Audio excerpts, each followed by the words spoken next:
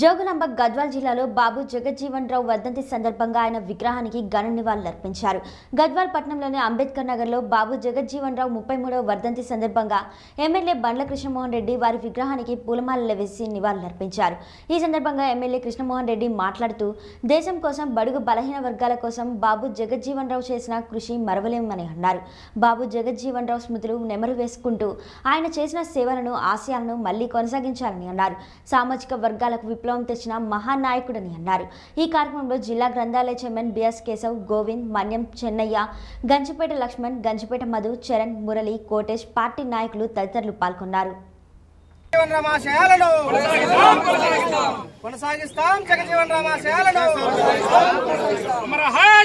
రావు. జగజీవన్ రావు జగజీవన్ రావు ఆశయాలను కొనసాగిస్తాం కొనసాగిస్తాం జగజీవన్ రావు ఆశయాలను కొనసాగిస్తాం కొనసాగిస్తాం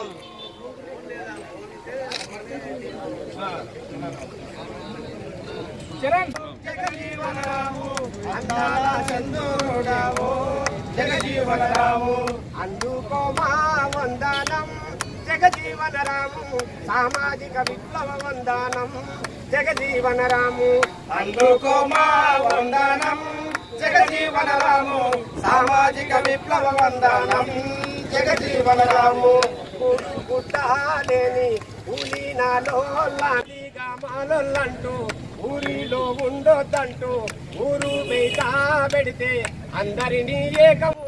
సామాజిక న్యాయమంటి ఓ జగజీవన రాము ఆకాశాన్ని జగజీవన రాము అందాల చంద్రుడేవో.